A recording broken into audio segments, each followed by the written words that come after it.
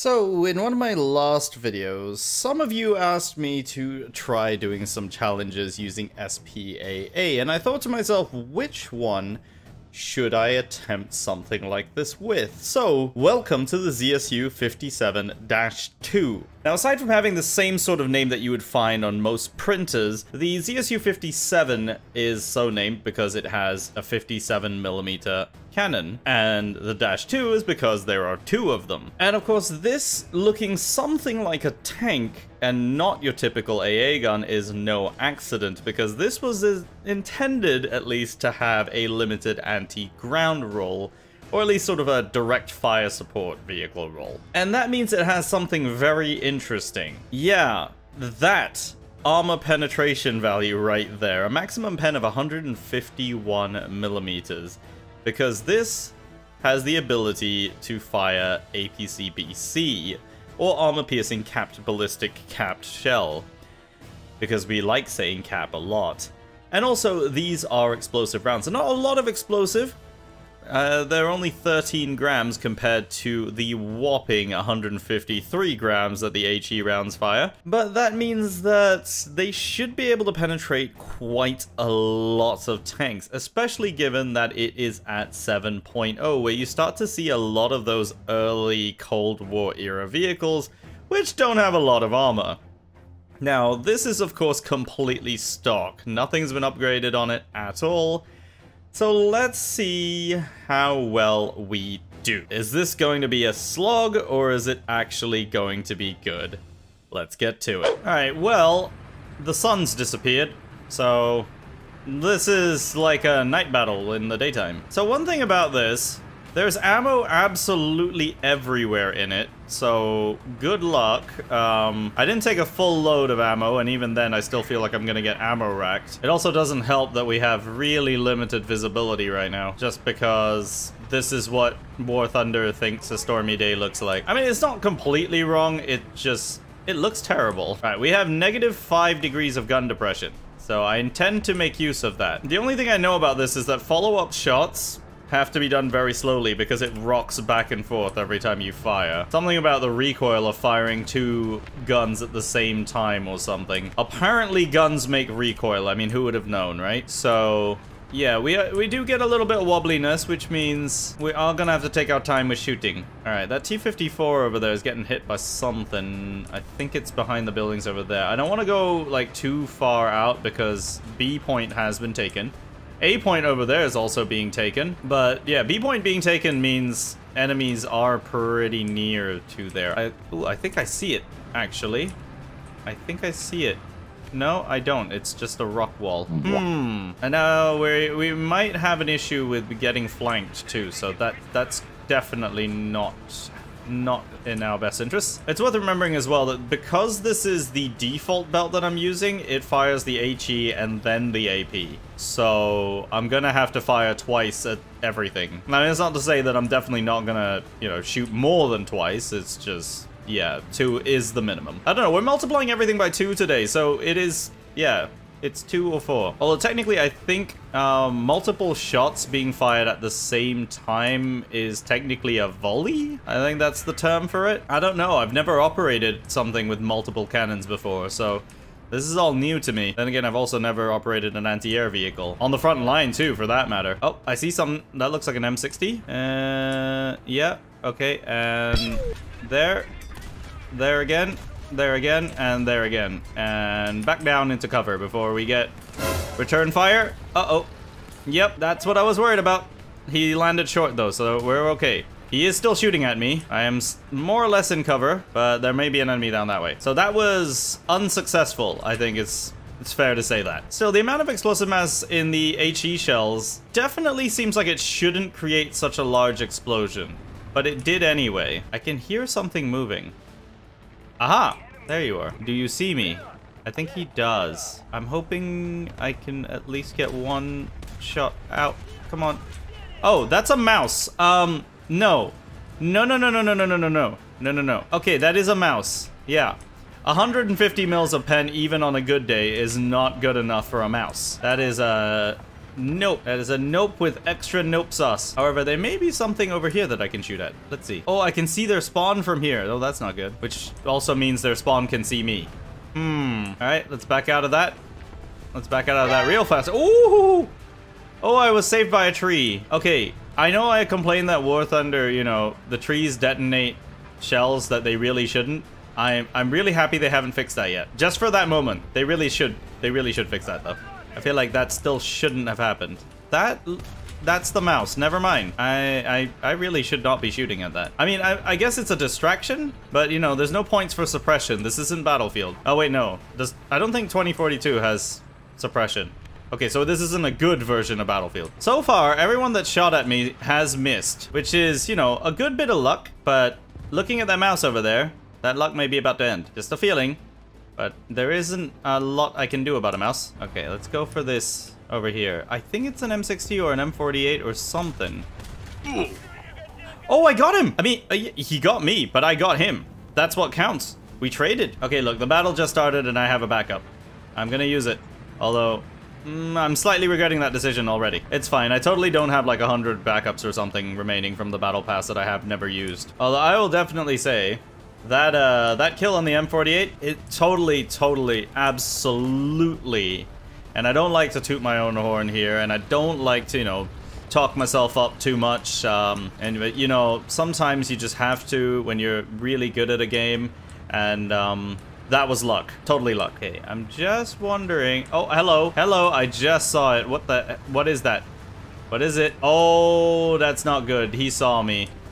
He definitely saw me. Oh, he knows I'm here. He knows I'm here. Wait, can I bamboozle him? Nope. Nope. That would be a no. How did he know I was moving, though? I mean, could he hear me? So, I've decided to take less ammo this time around. Not because I necessarily think it's going to help, but mainly because I didn't I don't fire that many rounds. I, I, just kind of figured it maybe it would. Maybe maybe it'd make a difference, who knows. So one other thing that's a little bit of a downside is just how long the barrels on this are. Are you gonna stop there? No, you're gonna keep going. Hmm. Okay, but yeah, the long barrels mean you get more visible. You know, when you when you're peeking around corners or when you're going over a hill, people tend to see your guns. They're they're kind of an obvious thing to spot, unfortunately. The engine on this vehicle might be quite loud because I'm pretty sure this is based on the same hull as the T-54. So it would make sense for it to have like the same engine, right? And then therefore make the same sort of noises. All right, let's get you. Again. Ooh, I critted him. Get him again. Get him again.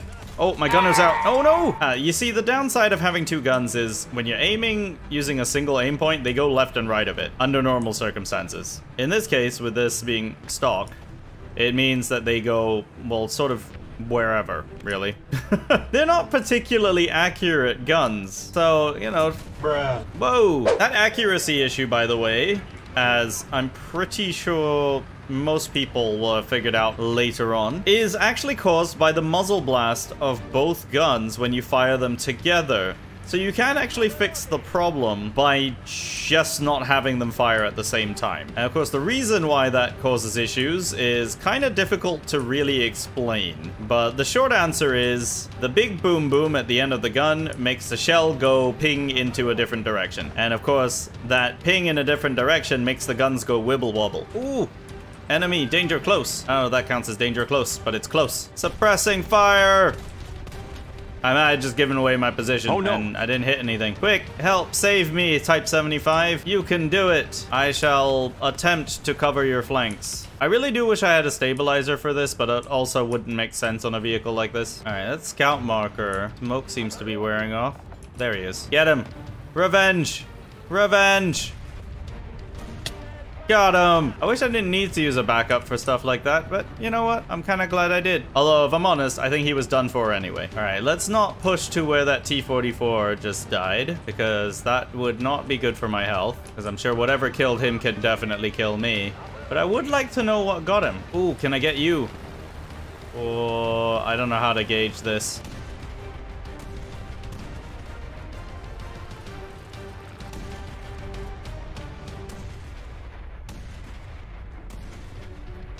Yeah, I have no idea what I'm doing with um anti-air, honestly. Yeah.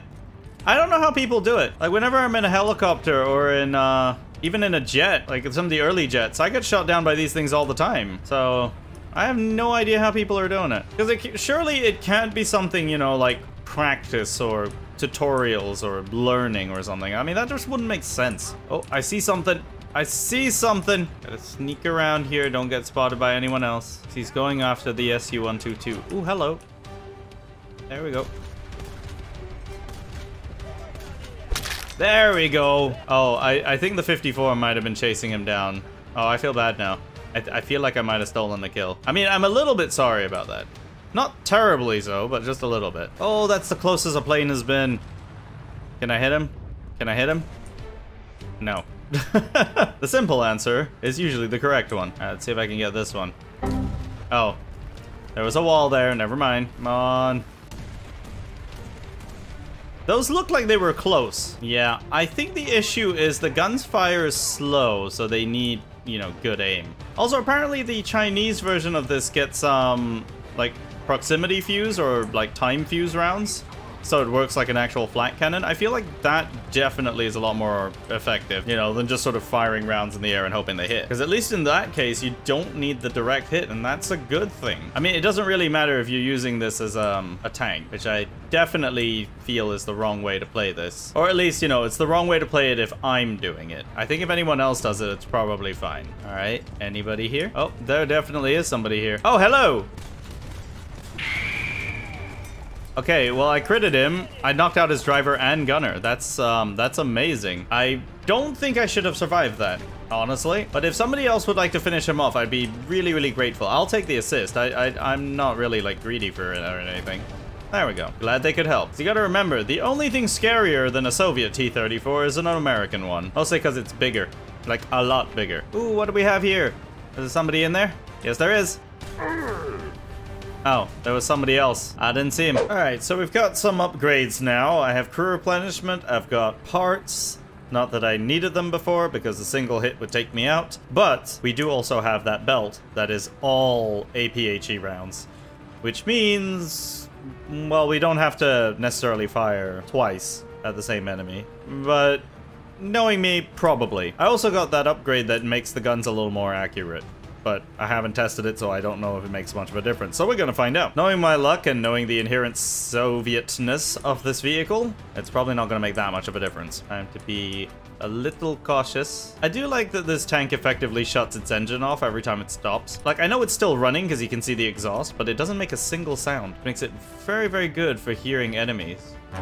Like this. Man, if that happened to me, I would have absolutely... What's the way I can put that? I'd need new pants, probably. Huh? And a chair. Hello? Oh, I knocked out his gunner.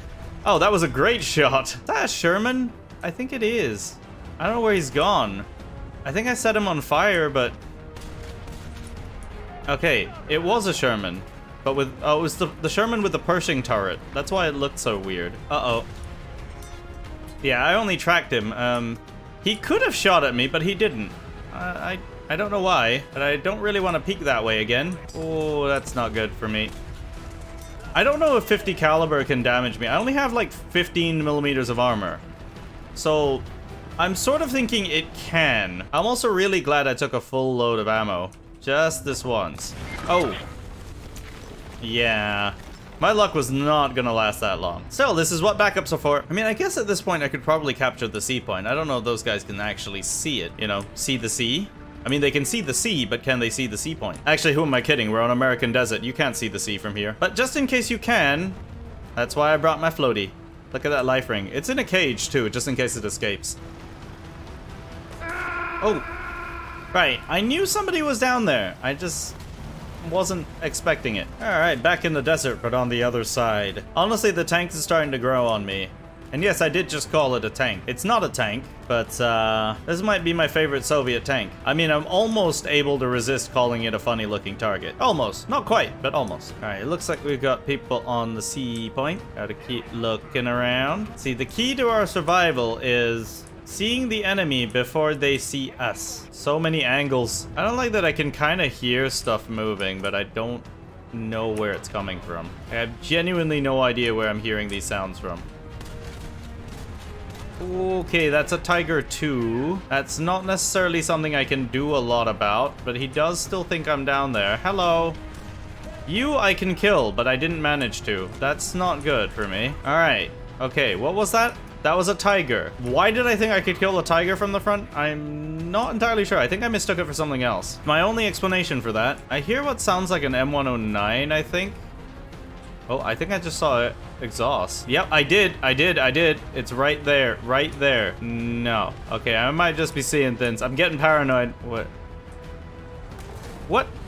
Oh, he was right there. Okay. Uh, uh, this is why you don't round corners uh, in in gunner view. That's exactly why. I don't even think he saw me at first. Ooh, it's an M109. I still have yet to do a video on that thing.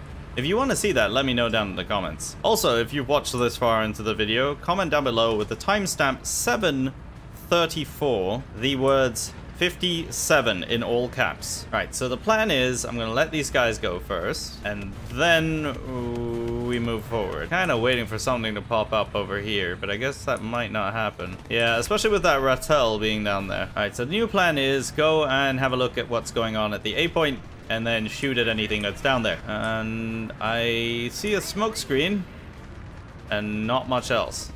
Oh, there's something down there. Quick, shoot him. Shoot him in the butt. Okay, I think I should probably get back into cover. I uh, should be expecting return fire any moment now. And again, I'm not entirely sure he knew where those shots came from, because he was facing the other way. However, I do think there's an ally over here that needs our help. So, hello? Alright, gunner loader out. I think the M109 might be able to finish him off. I don't know if he's loaded yet, though. Ooh! Oh, I got artillery. Oh, it's a Type 75. Right, so there are a couple of tank destroyers near the B point, and I think I might be able to flank them. Gotta take the low route, and then we'll figure it out from when we get there. And these M109s are everywhere. I mean, I figure they must be pretty good. Everyone seems to like them so much. Plane strafing somebody down here. Well, let's see if we can follow it up. Ooh, what was that? Yep, there it is. I see something down there. Okay, I don't see it anymore. That was definitely something down there. Oh, it's a panther. Can I do anything with the panther? Well, time to find out. Actually, no, wait, not time to find out, because he's disappeared. Seriously, where did, where did he go? Oh. Oh, no, no, no, no, no. That's my elevation drive and my driver. Well, I'm done. I literally can't do anything about that. I think my breech is out too. Yeah. Alright, it's a foggy day here in Normandy. Everyone's favorite map. Actually, I don't mind this map so much. It's a lot of uh, camping and shooting. But we like that. I mean, that's kind of how you do tanks these days. I mean, technically this isn't these days anymore. This is Cold War days. But uh, it is what you do. But the fog is kind of a equalizer in that sense because you don't actually get thermals on a lot of these vehicles at 7.0. At least I don't think you get thermals on any vehicles at 7.0. And because you don't, being able to see really far is kind of difficult. Ooh, somebody took a shot back at me. Let's get down, get down, get down. Use the terrain. We stick to the lowlands like true Soviet tanks. Ooh, okay. This is this is risky. Because that over there, I don't know what that is. I don't want to press this ridge line right here. Okay, whatever I was shooting at earlier, it's dead. So that's good. Right, I think I need to go across this way. There's definitely something right here. And there's something right here, too. Uh-oh. Oh! I pinned the roof of his turret. Okay, that that was unexpected. I wasn't expecting it to do that because it like I didn't think it would do that because it it looked like it was gonna ricochet, but I think it hit the cupola of the tank and then kind of like exploded inside it. Is kind of funny. Oh, there we go. That was something different. All right, what is down there? And I don't want to go forward because I know there's a tank over here somewhere too. All right, maybe that IS-4 will be like enough of a distraction. All right, there you are. Let me hit him again. Hit him again. Keep hitting him. Where are you going? I'm not done with you. Okay, I'm kind of done with you. Ooh! Okay, he doesn't quite know where I am. Interesting, this guy, he must have... Something must have hit him hard, because he, he didn't come out. I thought, like, with me shooting at something else, he would have actually, like, peeked. or have taken the chance. I know I would. Alright, so that M103, I guess, is what I was shooting at over there. That's dead. Uh, let's try this again. All right, never want to reverse directly straight down in this scenario. Because that's what actually saved me against the M103. He thought I was going straight back, which I wasn't. That's why he didn't hit me. Like, I say that, but it's also a little bit of luck. you get that one person who does the thing you don't expect, and then it's just, yeah, you got unlucky. It happens. Alright, this guy's still down here. It's moments like this I wish I had artillery. Not because, like, artillery can actually kill tanks. Just, it happens. Uh-oh. Uh-oh. Now, was that the guy I killed earlier? Someone let me know. Is that the guy I killed earlier that decided to come and bomb me? Or is that just, like, something that happened? I don't know if these shots are getting anywhere near him. It does sound like there's more than one plane. I mean, I'm probably using the wrong ammo for this, but, like, does it really matter when my accuracy against planes is sort of, like, 0%? Asking for a friend. I know I'm being really determined to hit a plane, but I don't know. I think this guy is just sort of, like, trying to camp for air spawns. That is what he's doing. I don't know where the other planes are. It's gonna pass right over me. Or is he coming towards me? Hey, I got one! It cost me nearly my entire crew, but I got one. I mean, I guess we found a situation where I can take out planes. After all, what's the lives of four troops or four crewmen against, you know, an entire aircraft? Right? Like, Come on. Oh, apparently we have a heavy tank on the A point. That's not good for me, because that's where I'm going. I mean, let's hope it's one of those heavy tanks I can actually damage, you know? Ooh. Wait, wait, wait, wait, wait. No, no, no, no, no, no, no. Oh, there were there were two of them. And so that is the ZSU 57. Uh, I definitely am not the best at using this as an actual AA gun. Unless they're moving very, very slowly. Oh, I mean, I say that, and then that happens. But as a tank, it's not very good. I mean, you can't really use this as a direct fire vehicle in that sense. But it does have a very, very good gun. I mean, for its BR, like, you're, you're gonna find you still need to place those shots well, but there's quite a few things you can actually fight so long as you get the first shot. And you are gonna need to get that first shot because look at this accuracy right now. Like, you can see the rounds sort of going in random sort of directions. And that's not good. And you also, if, for example, you want to hit something you do have to sort of aim left or right of where you're going and prioritize one of the shells over the other, which is something I definitely wasn't doing often enough. But that is a way that you're gonna have to play this, because otherwise it's just not gonna have the effect that you really want it to. And it also doesn't help that repeated shots make it fire slightly low. Now, I don't know if that changes depending on the direction that you're firing at, like... I don't think so, which sort of leaves uh, a kind of weird position to be in when it comes to that sort of thing. So you're gonna have to fire a lot slower than you, your actual rate of fire allows you to. Which is kind of a problem. Against planes, I don't think it matters as much, but against tanks, you definitely need to get the jump on people. But I honestly found myself enjoying this thing quite a lot, and if you enjoyed this tank and this video, don't forget to leave a like and of course, subscribe if you're brand new to the channel. My name is Panzer, thank you very much for watching. And I will see you next time.